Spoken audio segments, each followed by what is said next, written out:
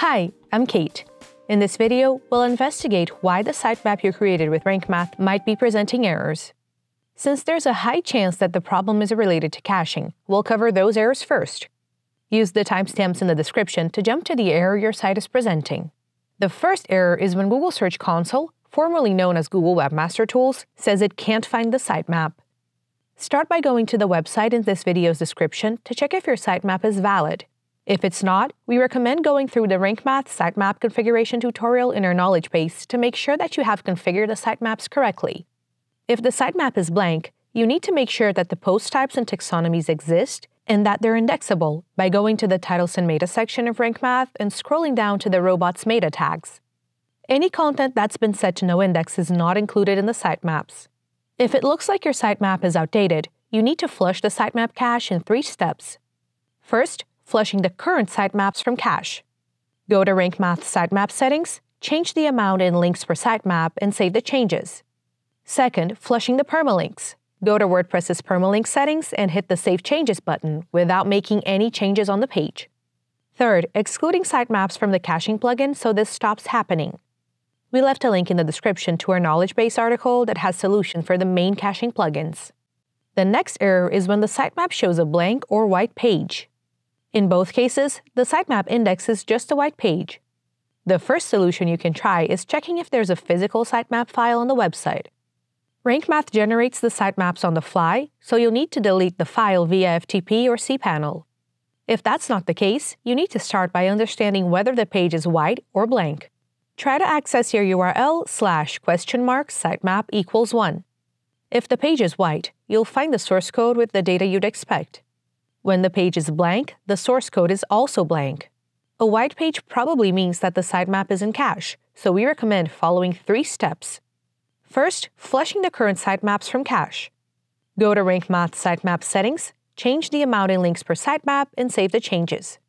Second, flushing the permalinks. Go to WordPress's permalink settings and hit the Save Changes button without making any changes on the page. Third, we need to exclude them from the caching plugin so this stops happening. We left a link in the description to our knowledge base article that has solutions for the main caching plugins. On the other hand, if the page is blank, there are two probable causes. One is that you have a static file with the same name as your sitemap file. You should access the server via FTP and remove the file. The other is a conflict between RankMath and another plugin, the website's theme, or even the WordPress installation. You can use the Health Check and Troubleshoot plugin by the WordPress community to find out what's conflicting with RankMath. It will add the troubleshooting mode to the Site Health screen from the Tools section of WordPress's menu. So let's access the Add New page of the Plugins section, enter Health Check in the search bar in the top right corner, and click on Install and activate Health Check and Troubleshooting.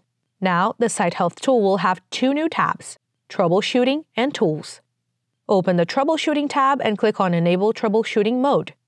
The alterations you make to the website will not appear to your visitors. This will deactivate all the plugins. WordPress will suggest that you install and activate the default theme that comes with the WordPress installation you'll be able to choose between the 2020, 2021, and 2022 themes. Then you have to try to reproduce the issue in these settings. If it's there, your WordPress installation is the root of the problem, and you should contact your web host about it. If you don't see the issue when no plugins are active and the theme is a default, it's time to activate RankMath and see if the issue is there while only using RankMath with a default theme and no other plugins. If you still don't see the issue, activate each plugin individually until you find the one that's conflicting with RankMath. It's also highly likely that your cache plugin or DNS network is interfering with the sitemap functionality, so you should check out our knowledge base article that has the solutions for the main caching plugins to fix that. Moving on to the next error, when your sitemap pages are not showing the correct number of links. First, we recommend running the health check plugin that we just covered. Second, flushing the permalinks. Go to WordPress's permalink settings and click on Save Changes without making any changes. If that doesn't work, you can try adding this code. You can use the Code Snippets plugin or add it straight to the RankMath PHP file with WordPress's theme editor that's located in the Appearance section of the dashboard. If there's no file there, you can upload one via FTP or create one from the cPanel if your website uses that. You can find more details about all these methods with the knowledge base article that we've linked in the description.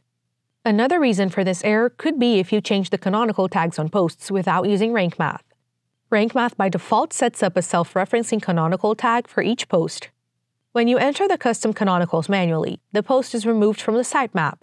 After all, these tags are telling search engines to index other posts. Next are two errors that can be fixed with the same steps. RankMath doesn't create a sitemap file, or you're getting a 404 error while trying to access your sitemap index. You may have to flush permalinks. Head over to your WordPress admin area, go to Settings Permalinks, and hit the Save Changes button without making any changes on the page. If that doesn't work, it's possible that the error is caused by an incompatibility with your web server. RankMath creates a virtual sitemap dynamically, which relies on redirects enabled by your server software. To check if that's the problem, try to access yourdomain.com slash question mark sitemap equals 1. If it loads your sitemap, you need to rewrite some redirection rules. If it's an Apache server, go to the htaccess section in RankMath.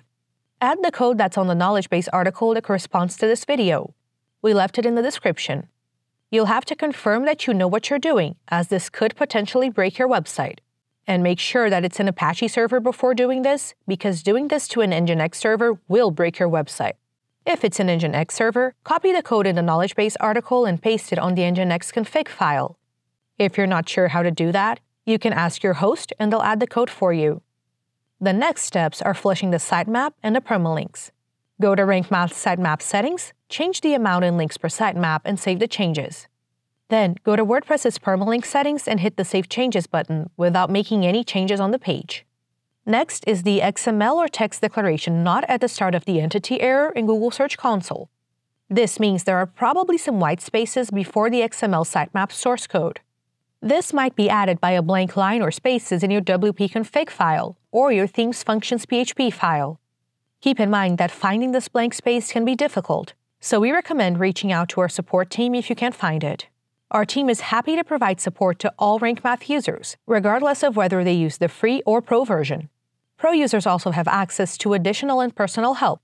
If there are no blank spaces in your WP config PHP or functions PHP files, check for a plugin conflict using the health check plugin that we showed earlier in this video. It's also highly likely that your cache plugin or DNS network is interfering with the sitemap functionality, so you should check out our knowledge base article that has solutions for the main caching plugins to fix that. Another error in Google Search Console is your file appears to be an HTML page. Make sure that you submitted the correct XML sitemap to Google, which is your domain slash sitemap underscore index.xml. If you're sure you submitted the correct URL but you're still facing this error, check for a plugin conflict using the health check plugin that we just showed.